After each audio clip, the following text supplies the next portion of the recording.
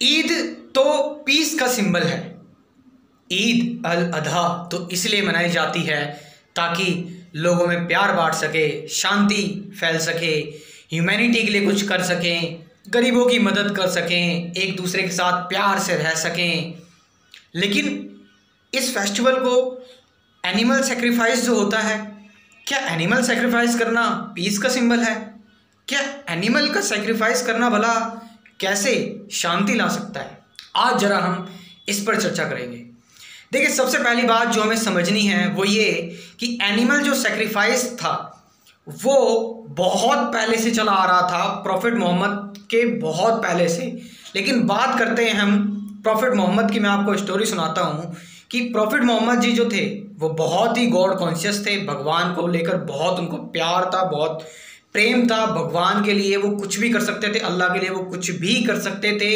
अल्लाह को लेकर, अल्लाह की टीचिंग्स को वो हर जगह तक पहुंचाना चाहते थे, फैलाना चाहते थे, लोगों को समझाना चाहते थे ताकि ह्यूमैनिटी का भला हो, लोगों का भला हो, लोगों में शांति आए, प्रेम बढ़े, एक दूसरे के साथ रह सके। तो प्रॉफिट मोहम्मद बहुत बड़े भक्त थे, अल्लाह के, भगवान के जस्ट लाइक अर्जुन जैसे श्री कृष्ण का बहुत बड़ा भक्त था। मीराबाई जैसे भगवान श्री कृष्ण की बहुत बड़ी भक्त थी। ऐसे ही प्रॉफिट मोहम्मद अल्लाह के बहुत बड़े, बहुत प्योर डिवोटी थे, बहुत प्योर भक्त थे। तो क्या होता है, अल्लाह एक बार प्रॉफिट मोहम्मद से कहते हैं कि तुम मेरे लिए क्या कर सकते हो? तुम मुझे इतना प्यार करते हो, साबित करके दिखाओ, परीक्षा लेते हैं एक तरह से उनकी। तो वो क्या करते हैं, वो कहते हैं, भगवान, मैं आपके लिए, अल्लाह, मैं आपके लिए प्रॉफिट मोहम्मद कहते हैं, मैं कुछ भी कर सकता हूँ, कुछ भी। क्योंकि आप ही तो हो जो सब कुछ देख रहे हो, आप ही तो हो जो कुछ सब कुछ आपने बनाया है। आप ही की मर्ज़ी से सब कुछ बनेगा, बिगड़ेगा, घटेगा, जुड़ेगा, सुख आएगा, दुख आएगा। मैं तो कंप्लीटली आपको सरेंडर कर चुका हूँ। तो अल्लाह कहते हैं कि तुम मेरे लिए क्या कर सकते हो? कुछ ऐसा करके दिखाओ जिससे मुझे लगे कि हाँ भाई, तुम मेरे लिए कुछ भी सेक्रीफाइस कर सकते हो। तो आपको पता है प्रॉफिट मोहम्मद अपने बच्चे, अपने लड़के, जिसका नाम इस्माइल होता है उस तक को सेक्रीफाइस करने के लिए अल्लाह के सामने रख देते हैं और कहते हैं कि मैं आपके लिए अपने बच्चे को भी सेक्रीफाइस कर सकता हूँ। और प्रॉफिट मोहम्मद तलवार लेते हैं और अपने बच्चे को काटने जा रहे होते हैं। इतने में अल्लाह रोक देते हैं। भगवान क्यों चाहेंगे कि किसी को मारा जाए, किसी इंसान को मारा जाए? एक ऐसे ह्यूमन क्योंकि इंसान एक ह्यूमन इंटेलिजेंस और उसका जो इमोशंस होता है वो एक एक डिफरेंट होता है। तो उसको मारने का मतलब यह है ह्यूमन को मारने का मतलब यह है कि एक एक बहुत बड़ा पाप होता है ये। तो अल्लाह जो है वो समझ जाते हैं कि मेरा ये जो भक्त है प्रॉफिट मोहम्मद, इससे बेहतर मेरा भक्त कोई नहीं है। तो अल्लाह कहते हैं, कोई बात नहीं, ये रीत तो पुरानी है सेक्रीफाइस की जो रीत है, ये तो बहुत पुरानी, बहुत पुराने टाइम से चली आ रही है। लेकिन अब किसी इंसान की बलि नहीं चढ़ेगी। अब चढ़ानी है तो किसी जानवर की चढ़ा दो। तो इसीलिए प्रॉफिट मोहम्मद जो हैं, वो किसी एनिमल की सेक्रीफाइस कर देते हैं। तो यहाँ पर बात है सेक्रीफाइस की, यहाँ पर बात है समर्पण की, यहाँ पर बात है सरेंड्रेंस की, कि कैसे भगवान के प्रति प्रॉफिट मोहम्मद कितने कितने सरेंडर थे, भगवान को लेकर कितने ज़्यादा कॉन्शियस थे, और भगवान को लेकर उनके अंदर कितना ज़्यादा प्यार था। लेकिन बात वहीं पर आ जाती है कि यार भाई, अगर पीस का सिंबल है तो ये एनिमल का सेक्रीफाइस भी क्यों करना? तो दोस्त, इसको थोड़ा सा समझने के लिए, इसको समझने के लिए सबसे पहले आपको, आपके अंदर की जितनी भी कंडीशनिंग है, जो आपके अंदर ओल्ड कंडीशनिंग हुई हुई है, जो आपके अंदर फ्यूचर को लेकर थॉट्स है, आपको सब कुछ एकदम इग्नोर करके यहाँ प्रेजेंट में रहना पड़ेगा, तभी आप इस चीज़ को समझ पाएँगे, वरना जो दुनिया में एक दूसरे के अंदर जो हेट फैला हुआ है। मैं ये नहीं कहूँगा सिर्फ़ मुस्लिम्स के खिलाफ, चाहे हिंदू हो, चाहे मुस्लिम हो इवन क्रिश्चियंस भी हो बुद्धिस्ट भी हो, सबके मन में जो एक हेट फैला हुआ है इट्स बिकॉज़ वी लेबल हम लेबल दे देते हैं कि हाँ मैं हिंदू हूँ, मैं मुस्लिम हूँ, मैं बुद्ध हूँ, मैं ईसाई हूँ। तो दोस्त, इसको ज़रा समझना बहुत ज़रूरी है। मेरी बात ज़रा ध्यान से सुनना। मैं आपको एक कहानी सुनाता हूँ। एक बार क्या होता है, एक बहुत ही बड़े एक सेंट होते हैं, एक बहुत ही बड़े आप कह सकते हो जैन बुद्धिस्ट मॉन्क होते हैं और बहुत ही बड़े सन्यासी होते हैं, बहुत ही जाने माने सन्यासी होते हैं। वो तीस साल तक मतलब पिछले तीस साल से वो एक केस लड़ रहे होते हैं। पिछले तीस साल से वो एक केस लड़ रहे होते हैं, वो ये कि जो जो हम दवाइयाँ बनाते हैं उन दवाइयों का जो एक्सपेरिमेंट्स हैं, उन जो दवाइयों की जो एक्सपेरिमेंट्स हैं, वो एनिमल्स पे ना किए जाए। तो इस चीज़ के लिए वो तीस साल उनको लड़ते लड़ते हो गए, लेकिन अभी तक उनको जस्टिस नहीं मिला। फिर भी जो टेस्टिंग है वो एनिमल्स पर हो रही है। तो एनिमल्स को लेकर वो कहते थे कि एनिमल्स पर क्रिवालिटी होती है, कि अगर हम एनिमल्स पर अगर टेस्ट करते हैं एनिमल्स पर दवाइयों के टेस्ट करते तो क्रुएलिटी होती है। इससे एनिमल्स की जान चली जाती है एनिमल्स तड़पते हैं तो ये मुझे अच्छा नहीं लगता। तो ऐसा नहीं करना चाहिए, इसको बंद करना चाहिए। तो ये सारी चीज़ें हो रही होती हैं। लेकिन एक बार क्या होता है, उन्हीं जैन बुद्धिस्ट मोंग को लीवर सरोसिस हो जाता है। अब देखो, साधु तो दारू पीते नहीं है तो लीवर सरोसिस कैसे हो जाता है? लेकिन आपको जानकर ये हैरानी होगी कि काफ़ी सारे साधु छुप छुप कर दारू पीते हैं। काफ़ी सारे साधु छुप छुप कर नशा करते हैं। तो दोस्तों, उनका भी यही था कि वो छुप छुप कर एक दो पैक ले लिया करते थे और दुनिया के सामने दिखाते थे कि मैं तो एक बहुत ही प्योर मंक हूँ और मैंने अपनी इंद्रियों को बहुत कंट्रोल कर रखा है, बहुत ज़्यादा मैं, बहुत मैंने सप्रेस कर रखा अपनी इंद्रियों को। तो उनको लीवर सरोसिस हो जाता है। जब उनको लीवर सरोसिस होता है तो डॉक्टर के पास जाते हैं। डॉक्टर मेडिसिन रिकमेंड करता है। डॉक्टर मेडिसिन लिखता है। डॉक्टर जब मेडिसिन लिखता है तो मेडिसिन तो आप जानते हो मेडिसिन तो वो ले नहीं सकते। क्योंकि जिस चीज़ को लेकर वो केस लड़ रहे हैं कि मेडिसिन जो हैं, वो बनाई जा रही है, उनका एक्सपेरिमेंट एनिमल्स पर कराया जाता है तो ये एनिमल्स पर एक्सपेरिमेंट कराई हुई मेडिसिन ही हैं क्या? तो डॉक्टर कहता है, ऐसी कोई मेडिसिन नहीं है जिसका एक्सपेरिमेंट एनिमल्स पर ना हुआ हो। तो वो जो जैन बुद्धिस्ट मंक है, वो दवाइयाँ लेने से मना कर देते हैं और वो अपने आप को छोड़ देते हैं, ऐसे ही तड़पता हुआ अब वो अपने आप को तड़पता हुआ छोड़ देते हैं। उनके पेट में दर्द हो रहा है, परेशानी हो रही है, उनकी बॉडी में रैशेज आ रहे हैं, उनको उल्टी हो रही है यू नो लीवर स्रोसिस की वजह से ब्लूरबिन निकल रहा है और बहुत तकलीफ़ हो रही है, बहुत दिक्कत में है बहुत पीड़ा में है बहुत पेन में है। अब भाई बायोलॉजिकल प्रॉब्लम है। अगर हाँ वो एक आयुर्वेदिक ट्रीटमेंट भी करते हैं, वो संतरे खाते हैं और भी जो जड़ी बूटी वगैरह है, वो भी वो लेते हैं, लेकिन एक एक टाइम पर एक टाइम पर जब कोई चीज़, जब एक एमरजेंसी होती है, उस टाइम पर एलोपैथिक ट्रीटमेंट बहुत ज़रूरी होता है। अब आपकी लीवर सरोसिस है। आपको कुछ ना कुछ मेडिकल ट्रीटमेंट तो लेना पड़ेगा। तो बहुत तड़पते हैं काफ़ी दिन तक। अब उनकी तबीयत इतनी ज़्यादा ख़राब हो जाती है, बिल्कुल सूख के, बिल्कुल बिल्कुल ककड़ी हो जाते हैं वो सूख कर, बिल्कुल एकदम ख़त्म होने वाले होते हैं। तो उनके पास एक यंग जनरेशन का, एक यंग लड़का, जिसने, जो सभी धर्मों को समान मानता है जिसने किसी से हेट नहीं किया, किसी से जलन भावना नहीं, जो हर एक को इंसान देखता है ह्यूमैनिटी पर विश्वास रखता है, वो आता है और वो उनको समझाता है, कहता है कि तुम दवाइयाँ इसलिए नहीं ले रहे हो क्योंकि इन दवाइयों से एनिमल पर क्रुएलिटी होती है। एनिमल्स तड़पते हैं, इन दवाइयों से एनिमल्स पर एक्सपेरिमेंट्स होते हैं। लेकिन what are the cruelty you are doing on yourself लेकिन तुम खुद पर भी तो बहुत बड़ी क्रुएलिटी कर रहे हो। तुम खुद पर भी तो बहुत बड़ा जुल्म कर रहे हो।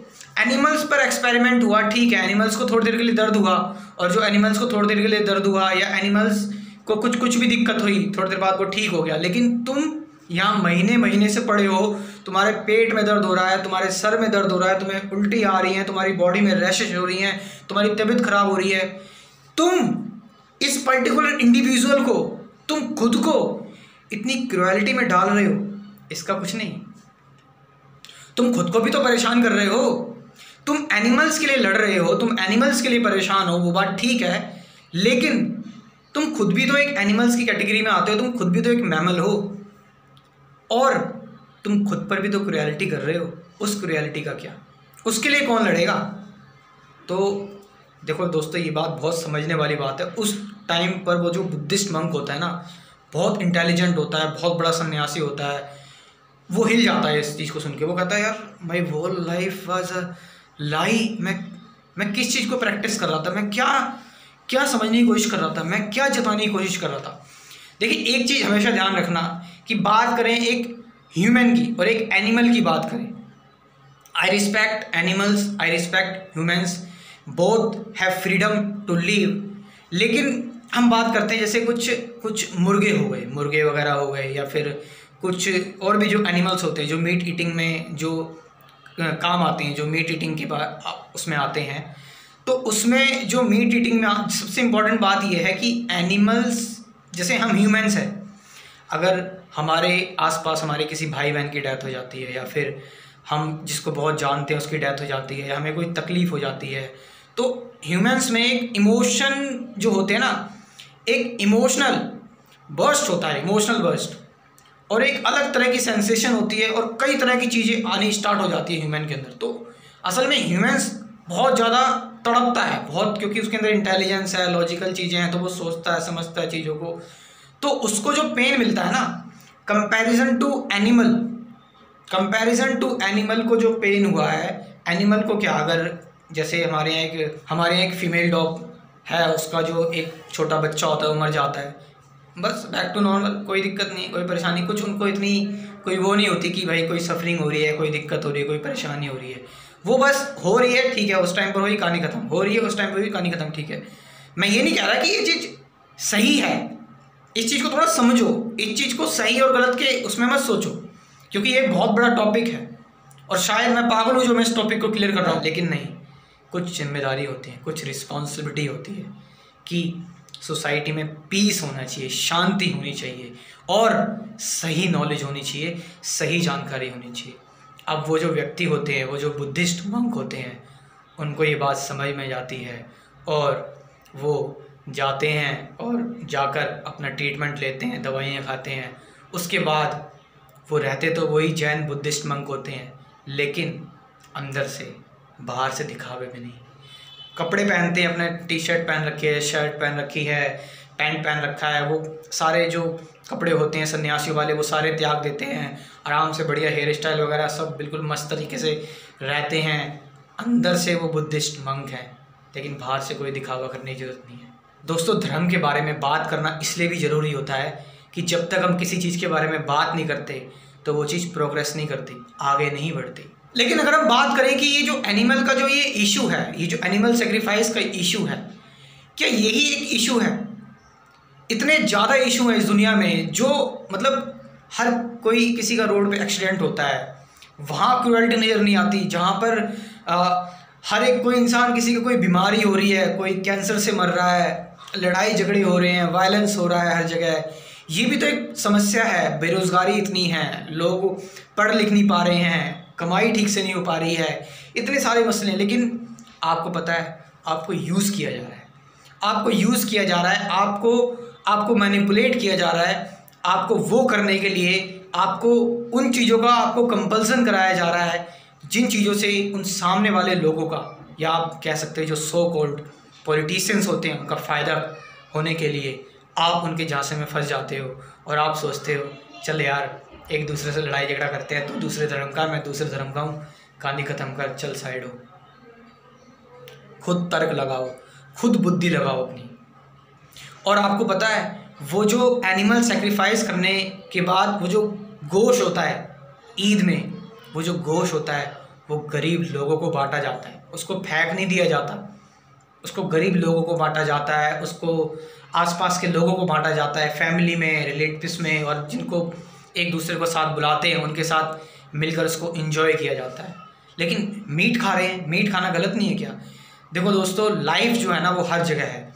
अगर इसको कंसेप्ट को समझना देखे सिंपल सी बात है, बहुत खतरनाक, एक ओपन माइंडेड एक ढक्कन यहाँ से हटना चाहिए।